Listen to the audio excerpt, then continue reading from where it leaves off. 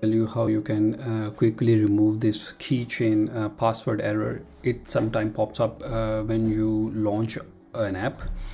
Uh, so it can be easily fixed. Uh, what you need to do is you have to go to the uh, apps menu and then you have to write here keychain. You have to open this app. You have to go in a password section then above here going in a setting and then reset the default keychain password.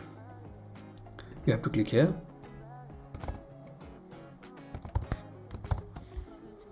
here you have to put the password of your device. And then now you can reset the password. You can give any password. Click here ok click here also ok and now you will not face this error anymore. If you liked my video then kindly subscribe my channel. And if you have any questions then you can write down in the comment box. Thank you very much. Bye